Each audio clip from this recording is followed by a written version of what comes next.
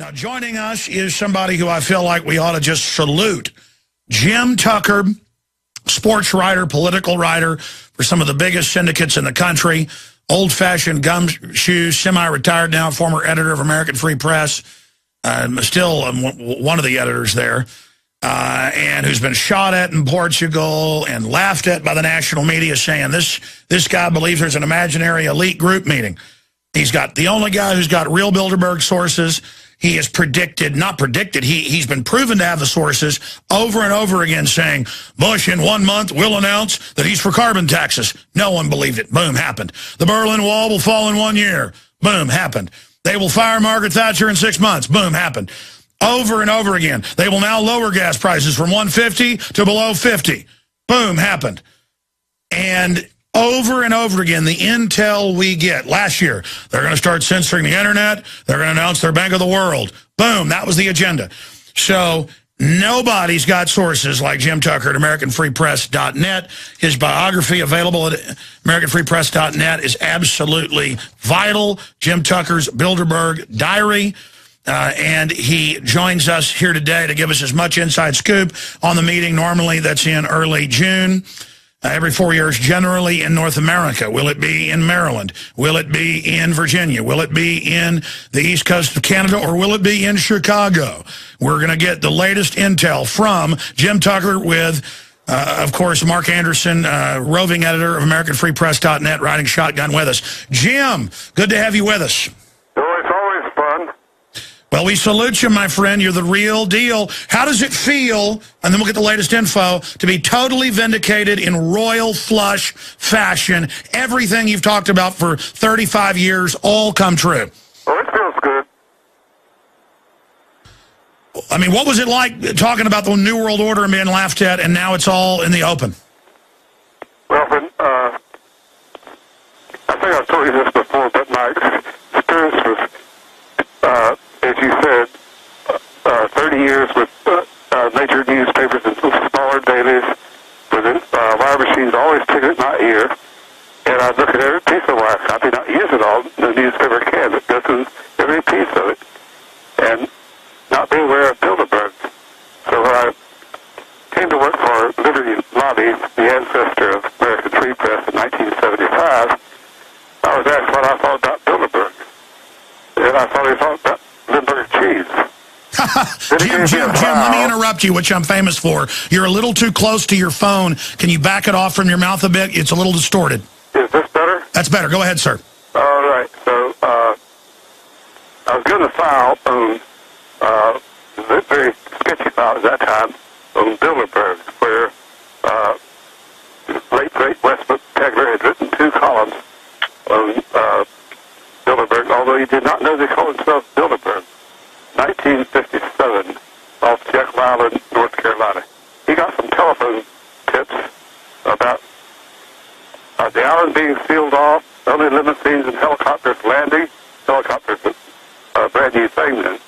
Uh, people getting out of big black limousines and going into this uh, building guarded by uniformed cops.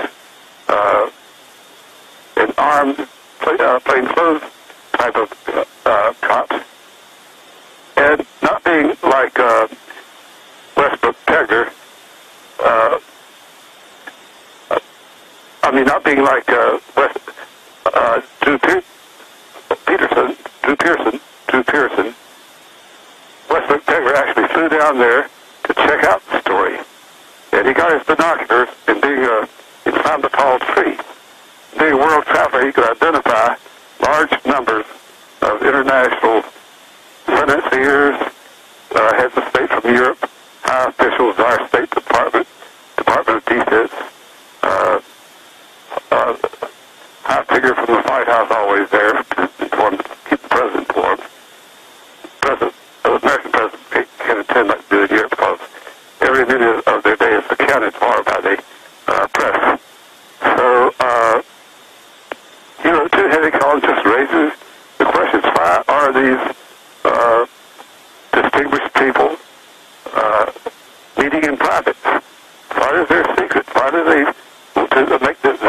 itself uh.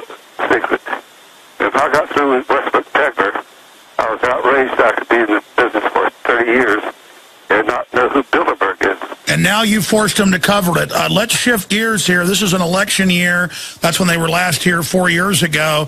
What is your latest intel? Because I know even for mid-level members, they're not told until a few weeks before, so you generally don't learn from your source until two weeks before or so. What is the intel you're getting so far, if any, Jim, on where the vaunted meeting is going to take place? Well, as soon as we uh, find out, we'll put it on our Facebook page. Uh, not not wait for the newspaper. Uh, just uh, go to Facebook page and get it the same day as we know. So far, uh, it's, it's extremely difficult. The source been so reliable for uh, uh, the last uh, 15 and 20 years and being able to nail them because he is of Bilderberg quality. He's an international financier. Uh, and he's uh, talked to these people as an individual, as a, as a, as an acquaintance. Hey, how tapped do you think your phone is? Oh, uh, well, uh, certainly it is tapped because I have an unlisted number uh, that's not published for de- defensive reasons, and uh, people still call me who've never been given the number. Or, uh, well, I've been told uh, it's tapped. Well, you found bugs in your hotel room. You've been shot at. That was Portugal when they shot at you, correct? Yeah. Uh, oh, yeah. In fact, I remember uh, I was checking into uh, a little town with the meeting about 40 miles from Atlanta. And, uh, of course, I always take the cheapest room possible. It's always a smoking room. Uh, to save the company money. And I was in, getting ready to settle in, pull, uh, getting, pulling my other pair of socks out of the drawer, when uh, they came down to me and said, "Oh, uh, we put you in the wrong room. Your your room is 135, not 125, or whatever." So I, I trot down there, and uh, and uh, after about an hour or so, uh, lunch and newspapers uh, rolled back. I had a message called uh, somebody, but to use a public phone, not my phone. So I, I called this guy who's, who's been a, uh, with the CIA for a lot of years and was now a good friend of, and champion of exposing Bilderberg. Uh, called him and said, uh, your phone is uh, tapped. Uh, so, uh, so is your chair. You can pull the uh, microphones out of your chair, but leave them on the phone itself so they'll think it's uh, that you're completely bugged. But always remember, when you're on that phone, uh, somebody's listening. Incredible. Now, we've got uh, Mark Anderson riding shotgun. Pop in any time. Mark, you've got points you want to make. So you have no intel right now on where it's going to be, is what you're saying, uh, Jim? Yes, and as soon as we do, we'll tell you. Well, what do you think of them saying it's going to be Haifa over in Israel? Because, I mean, isn't it always every four years in North America, or do they ever break with that sometimes? I've not been able to confirm anything about this Israel thing. Uh, I kind of doubt it, but I'm still trying to check it out. Uh, What does your gut tell you? I mean, if they're going to be having uh, the uh, G8 summit at Camp David and they're going to be having NATO in Chicago, I mean, don't they like to be in the U.S. when there's a big election every four years? well, they don't always pivot uh, to elections because uh, their orders are carried out anyway. Uh, they own both horses a two-horse race. Ever since, uh, until ever since and after Richard Nixon, every president after Richard Nixon has been a member of the Trilateral Commission, the junior varsity, before becoming president or, or vice president. So in both parties. So uh, they always own, as I said, those horses in a two-horse race. Sure. Let me raise this point. Mark Anderson, are you still there? Yeah, I, I can chime in anytime. I, I do think that the every four years presidential race is a pretty good barometer, and I think that uh, despite all their pseudo sophistication, these people are somewhat predictable. I'd say it's a high likelihood it'll be in North America this year, although not guaranteed. Um, they trotted out uh, Barack Obama in 08 and, you know, got their imprimatur on him. I believe back in the early 90s, they also trotted out the obscure Arkansas Governor Bill Clinton and said, will he do? Can we put him in the White House? And everybody nodded and said, sure, uh, a little gamey, but we'll go with him and all that. And so, uh, you know, they do have to get somebody uh, lined up for president that will get the nod of these chess players. Just like Gordon Brown or, or, or, or, Tony Blair or any of them or Van Rompuy of the EU. What about this, Jim? What about this point uh, that a lot of times you know about trilateral commission meetings, would have happened, or Bilderberg steering? Uh, do you have any intel on the last steering meeting and what is front and center on their agenda right now? Last time you got a snapshot. Uh, can you give us that data point? What's on their agenda? Uh, you? Jim okay.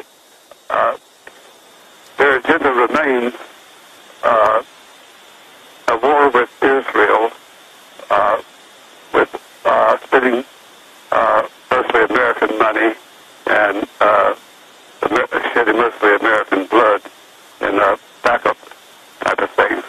So uh, uh, get uh, uh, uh, take this uh, Iran leader as a as a bloody-handed uh, threat, so we can go to war. But the good news is they are failing miserably as they have for the last several years. They they've been uh, trying to get this war going now for well since last Bilderberg meeting, and they're failing mis- miserably because there's uh, uh, growing public awareness. I've said before, last year in uh, Switzerland, we had 1,200 people there. 200 of them were reporters, either broadcast reporters or newspaper reporters, and uh, uh, drove, them, drove them wild. And because the uh, American patriots are uh, very good about calling and writing their senators and congressmen, now no senator or congressman dares go for political reasons. Uh, he won't say, well, oh, he'll tell, tell frankly, he'll tell his uh, Bilderberg, but it's why he can't go. But uh, the reason he can't go is because of the phone calls he'll get. People say, I'll not vote, for, I'll never vote for you again.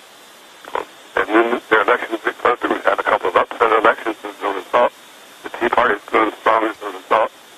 And uh, American patriotism is All right, so people are really waking up. Jim, how long do you think you're going to continue to be able to, you know, c- cover Bilderbergers? You've done such an incredible job over the years. I mean, you've said in the past you'll never stop. And I was talking to Mark. He said that you're healthier and got more energy than ever. Well, I'm doing uh, fine. I just carry this cane along because I'm a freelance song and dance man. So you're carrying a cane now, huh?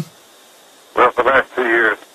And uh, in fact, it has a lot of fringe benefits. When you go into the airport, uh, in the section where they uh, invite cripples in, in a very short line called they're cripples, they give you a wheelchair, they push you around, you tell them where your gate is, they know exactly where to go. You don't have to uh, go up escalators. Do you like the TSA groping? Well, what's that? You know how the TSA now likes to stick their hands down people's pants. What do you think of that? Uh, I'm not trying with my pants. So you don't like it, yeah. Uh, because uh, what expense we should undertake is to get some toilet trained litter uh, guards at the airports. The uh, they pay eight dollars an hour now, which is uh, below the minimum wage in most states.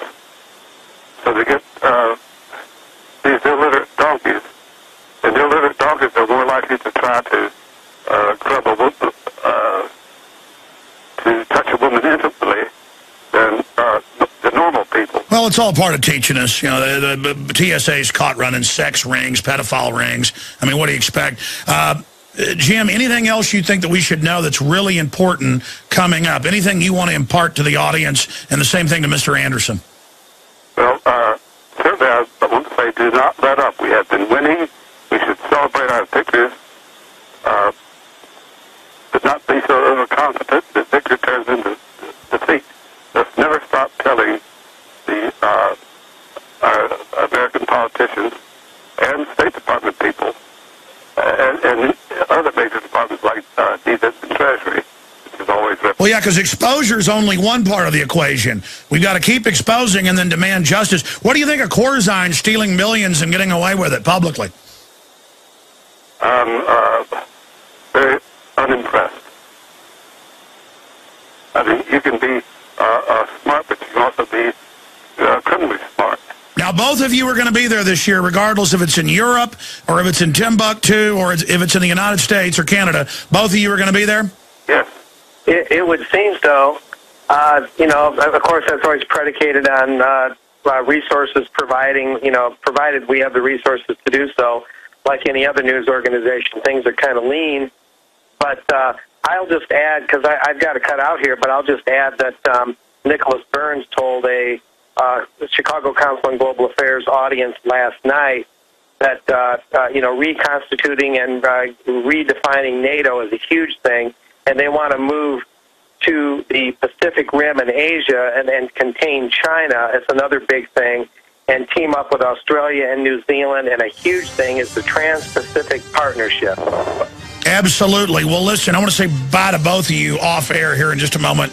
Uh, but I want to thank Jim Tucker. I want to thank Mark Anderson, AmericanFreePress.net. You can find their uh, Facebook. Mark, on the top of your head, what's the Facebook address for American Free Press? Uh, I actually don't know. Hey, it's all right. It's, it's linked up on the website, and, and we'll, right. we'll find out during the break and plug it after the break. Our site's Infowars.com. We say bye to both of you right now.